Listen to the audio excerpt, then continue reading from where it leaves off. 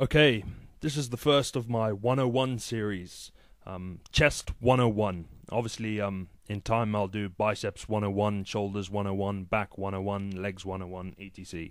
Um, and we're going to start with creating a split in the upper part of the pectoral.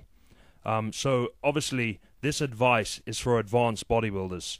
And by advanced bodybuilders, I don't mean pro bodybuilders, of course. I mean bodybuilders who have accrued um, a reasonable and decent amount of mass. So you're going around um, and you've put on a decent amount of muscle.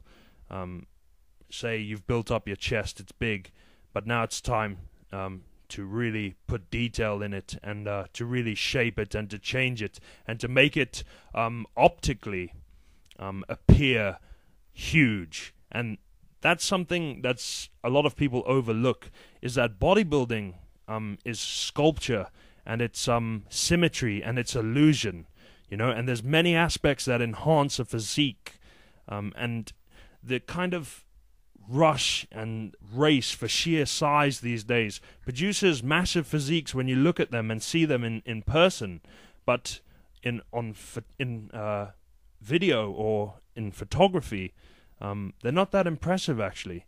Um, for instance, the waist. Um, is one of the most absolutely important aspects of a physique, symmetrically speaking.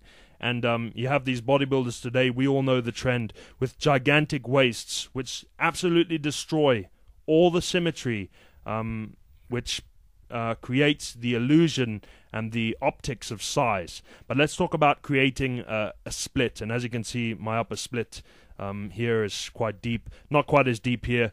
Um, the footage is from different time periods, of course, different diets, um, all kinds of things. And here, in fact, um, there are two splits. Um, uh, in some of the footage, I managed to develop for a while a split in the upper and lower pec, um, uh, as you can see there in that footage. Now, how you do this, but let's talk about the upper part, okay? Because I didn't have a genetic inclination for a split, and I've got old footage that I could show.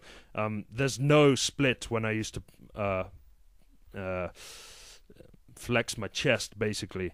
And what I did, and um, why I've drawn this out a bit so you can see this footage here, because it's part of developing this type of chest, which I call an old school chest, um, from the old school of bodybuilding. Um, the kind of chest that bounces off the bone and has a nice big split um, and it's massive basically and optically very impressive. Um, how you develop it, the byword, the holy grail um, to pursue is incline, incline, incline. That is your new byword. Um, in order to build um, an impressive chest, an old school chest with a massive deep split in the upper pectoral you have to place emphasis on incline benching.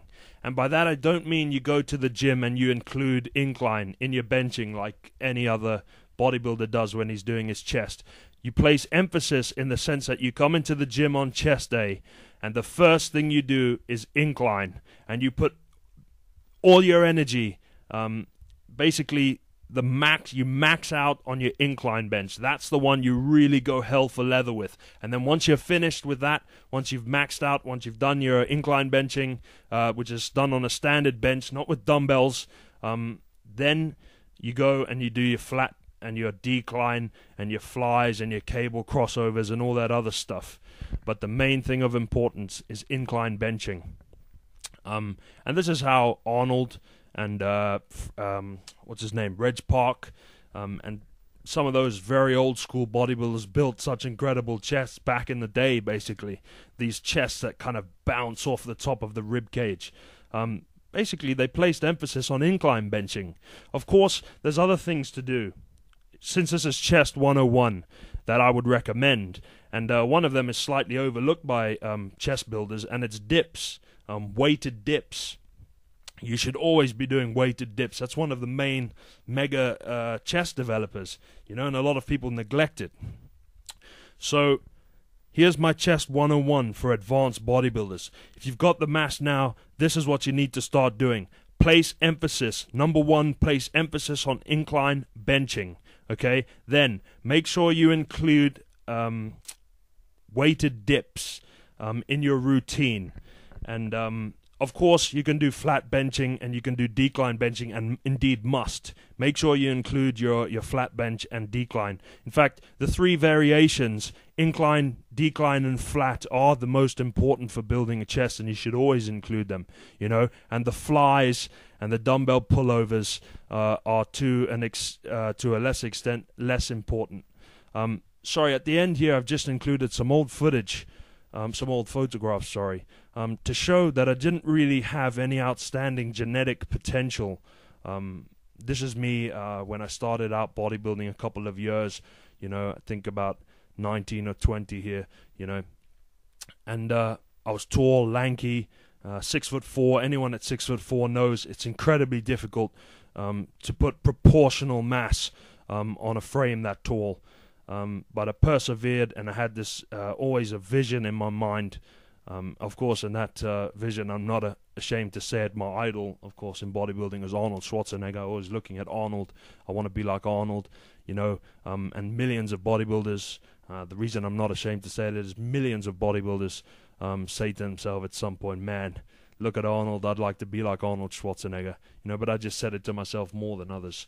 So, um, uh, as you can see, there's not that much genetic potential. Um, here, I admit I've been called, even now, by some people, um, just a, another gym rat. But um, in these photos, I really was just another gym rat. Well, actually, I wasn't, because I used to train uh, like a someone who was insane. Uh, I've always been very strong. Um, and I used to train very heavy regardless of my size. Um, and here's a, a, final comparison. As you can see from my side chest, I had the vision, but uh, genetically it's quite a small chest. It's not very long. Um, genetically, it's not a long chest. It's quite high, and uh, that's the transformation that I made. And believe me, um, that is no easy accomplishment. Um, so uh, remember, incline, incline, incline. That is your new byword for advanced bodybuilders. Take care and good luck with your training.